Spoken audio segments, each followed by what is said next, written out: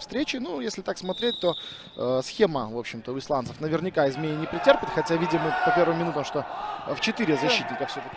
Тбилисская вот эта связочка.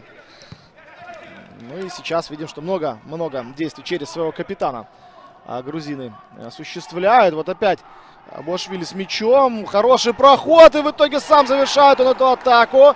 В начале шестой минуты. Но удар получился таким по позиции голкипера.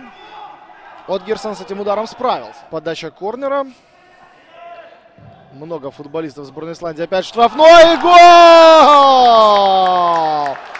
Отличается, по-моему, четвертый номер. Саба Хвадагиани. Фактурный парень. И на 19 минуте а Грузия вот так вот незамысловато выходит вперед. Подача углового и один из самых высоких игроков в составе. Пока, если брать в расчет забитые мячи, то получается. Но в плане игры, смотрите, вот, что вдвоем с тремя защитниками делают пятый, десятый номера сборная Грузии. Опаснейший момент возникает там. Ждал этот отскок. А сборная Исландии. В воротах Виктор Отгерсон. У него 13 номер. В линии обороны сегодня действует. Як, пока по первым минутам второго тайма опускаться всей команды за линию мяча. И Джурич может убежать или нет.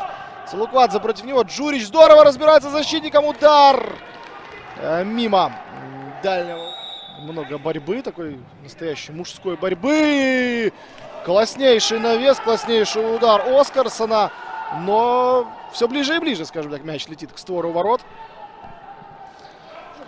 Вроде не блистает сейвами, но напрягают его почаще моментами.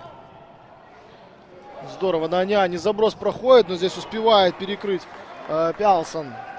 Это будет подача, практически нет сомнений. Да, Бошвили так и делает, загружает.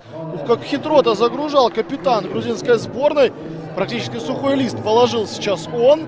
И Виктор Осан уходит от приема неспортивного. И все.